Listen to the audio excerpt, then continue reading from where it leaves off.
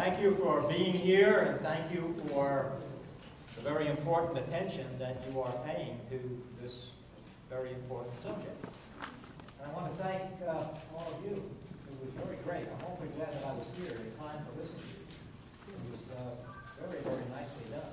And, you know, you hit all the important points, and you did it very, very well. So I thank you. They're terrific.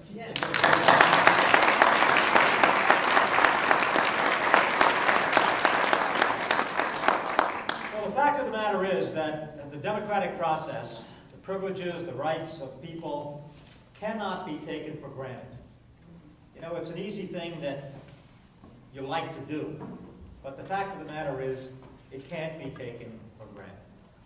It's been put under pressure in a variety of ways for a long, long time. Now, we were, we were the great country. We set up the democratic process here in the United States of America back in the 18th century. And as a result of that, we, over time, got an awful lot of attention, a lot of people following those examples.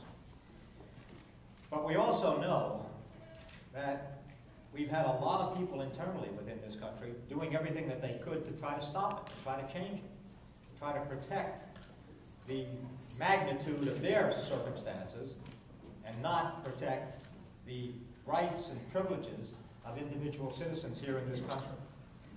So we had an interesting Supreme Court decision. Uh,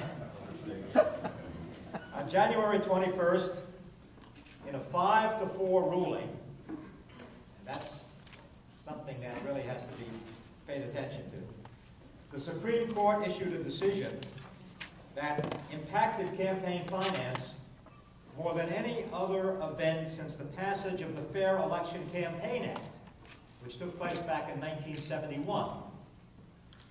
Prior to the ruling on Citizens United versus FEC, the Federal Election Campaign Act prohibited corporations and unions from using their own funds to make or directly influence federal elections including TV ads, direct mail, and any other effort that explicitly supports or opposes candidates running in elections here in our country. Corporations and unions were required to establish political action committees, PACs, that helped separate funds to be used to advocate or contribute to candidates' campaigns, party committees, or other political action committees. In addition, prior to the Supreme Court ruling, the 2002 Bipartisan Campaign Reform Act, commonly known as the McCain-Feingold Act, prohibited corporations and unions from funding broadcast advertisements from their general treasury that were to be aired within 60 days of a general election or 30 days of a primary election. These types of broadcasts are commonly known as electioneering communications and are intended to clearly identify federal candidates, but do not always call for their election or defeat. But nevertheless, they have the intention to try to be influential in the outcome. Corporations and unions that wanted to air these types of messages within this time frame were required to establish a PAC, Political Action Committee. The Supreme Court ruling now enables corporations and unions to fund unlimited political advertising, provided that the advertisements are not affiliated with the campaign that is supported or opposed. In addition, corporations and unions are now free to fund electioneering communications from their treasuries and to do so at any time. The court ruled that these previous restrictions put in place constitute a ban on free speech, which they allege is a violation of the First Amendment. So what does this mean? What does this mean for elections and for the future? If we were to allow this process to occur, it will allow unmitigated spending on election expenditures which will inevitably result in more corporate influence on these United States elections.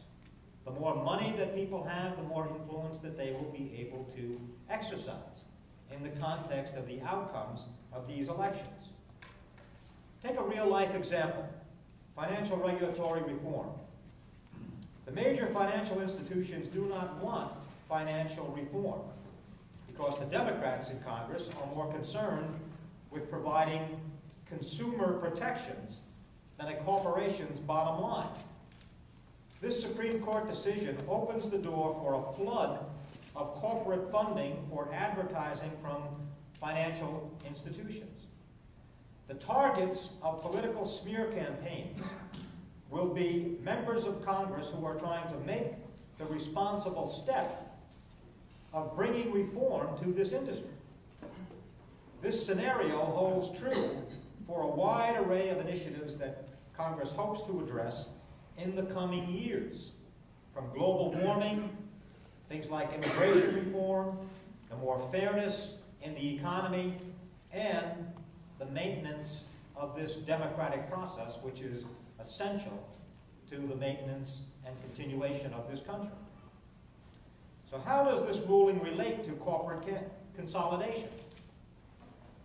There's a growing dominance of corporations. During the time that I've spent in Congress, I have fought consolidation in the private sector in various capacities.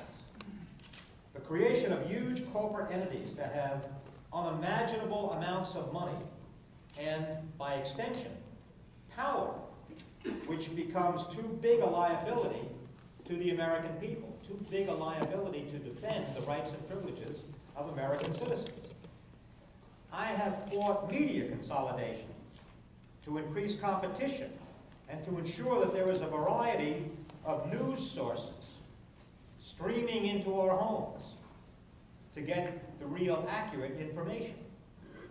The Media Ownership Reform Act is legislation that I authored, which would restore fairness in broadcasting, reduce media concentration, ensure that broadcasters meet their public interest requirements, and promote diversity, localism, and competition in American media.